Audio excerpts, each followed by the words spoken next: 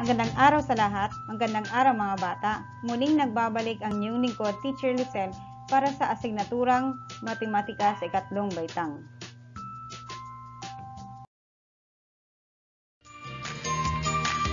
Magandang araw mga bata. Ngayon ay nasa ikalawang marka na tayo ng Mathematics Grade 3.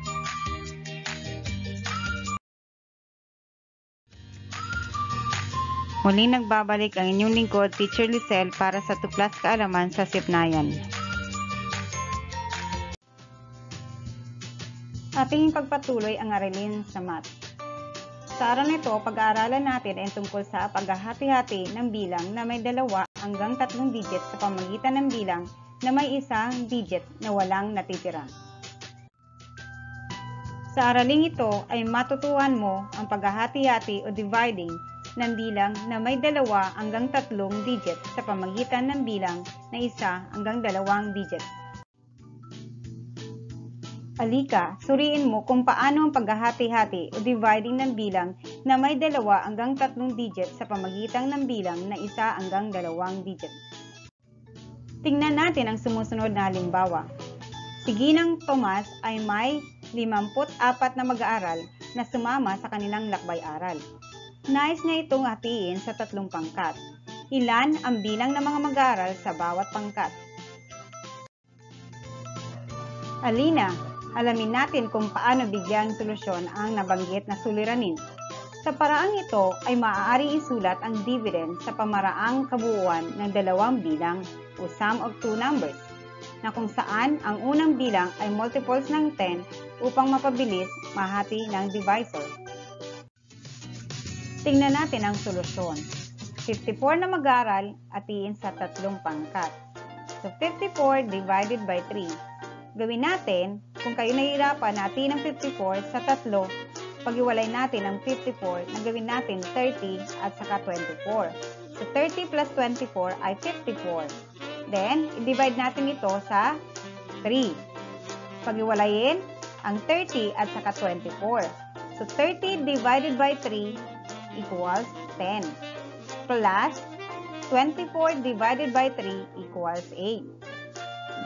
Pagkatapos, pagsamahin natin ang sagot sa 30 divided by 3, ang sagot ay 10, at isama natin to sa sagot ng 24 divided by 3, na ang sagot ay 8. So, 10 plus 8 equals 18. Ngayon, ang sagot ng 54 divided by 3 equals 18. Ang sagot sa suliranin na 54 divided by 3 equals 18 na mag-aaral sa bawat pangkat. May natira ba sa mga mag-aaral na hindi kasali sa pangkat? Wala, di ba mga bata? So ngayon, naunawaan niyo na ang paghahati-hati ng bilang na walang natitira o eksakto lamang ang sagot. Ating ipagpatuloy ang aralin. Ngayon naman, dumako tayo sa paraan ng paghahati-hati ng bilang na may dalawa hanggang tatlong digit sa pamagitan ng bilang na may isang digit na mayroong natitira na tinatawag na remainder. Ano-ano nga ba ang paraan ng paghahati-hati ng bilang na may natitira? Una, paghahati o divide. Pangalawa, pagpaparami o multiply. Pangatlo, pagbabawas o kaya subtract. At pang-apat, ibaba ang sunod na digit. Tandaan lamang mga bata. Ulitin muli ang pamamaraan ng pag-divide mula sa paghahati-hati, pagpaparami hanggang sa pagbabawas. At kung ito naman ay sakaling may natira, isulat ito sa paraang remainder or R. At isulat sa kanang bahagi ng sagot o kaya quotient. Tingnan natin ang halimbawa. 39 divided by 2 equals blank.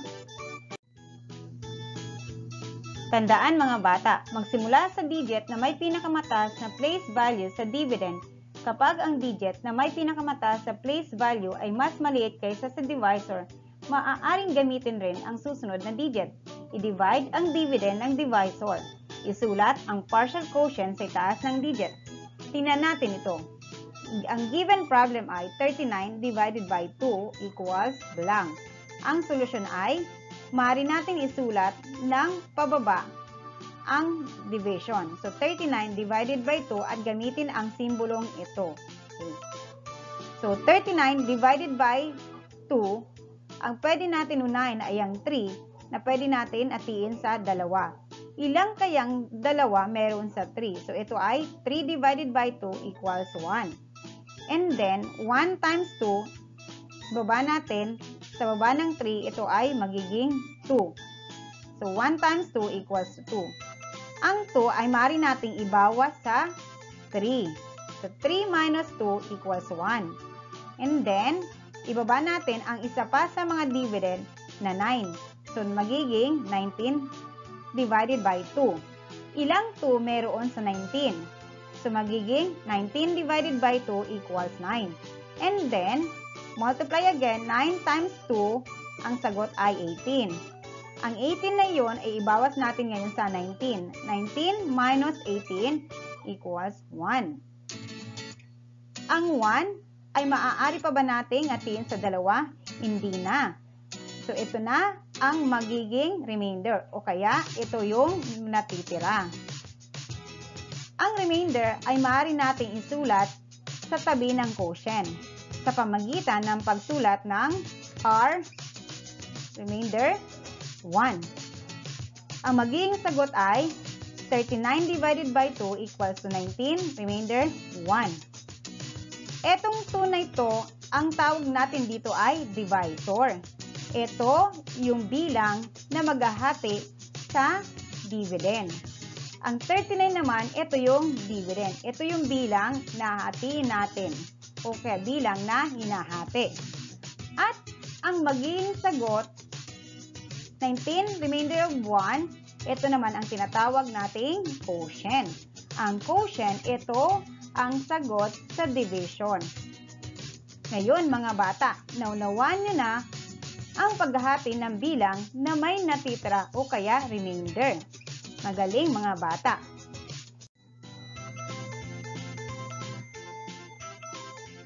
Ngayon mga bata, gawin naman ninyo ang gawain sa pagkatuto bilang isa. Kompletuhin ang talaan sa ibaba, isulat ang tamang sagot sa angkop na hanay ng bawat bilang. Gawin ito sa iyong kwaderno. Magaling mga bata, ito pa ang isa pang gawain. Gawain sa pagkatuto bilang dalawa na makikita sa inyong module. Gamitin ang alinman sa mga digit na ito, 0, 3, 6, at 7.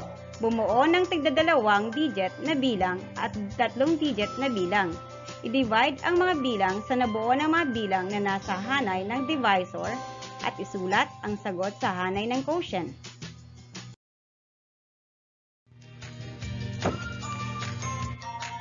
Magaling mga bata, ngayon ay may natutunan naman kayo ng isang aralin sa matematika.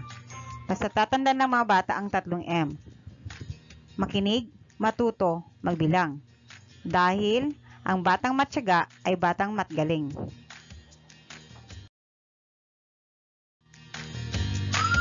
Maraming salamat sa inyong panunood.